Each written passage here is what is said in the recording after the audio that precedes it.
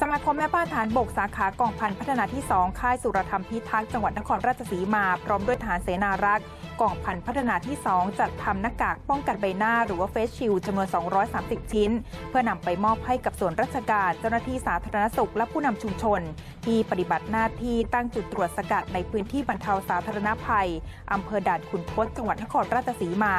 สำหรับใช้สวมใส่ป้องกันใบหน้า ขนาดปฏิบัติหน้าที่ประจำจุดตรวจ เพื่อป้องกันตนเองลดการสัมผัส สารคัดหลั่งจากการไอหรือจามจากผู้อื่น ป้องกันการแพร่กระจายเชื้อโรคทางเดินหายใจและเชื้อไวรัสโควิด -19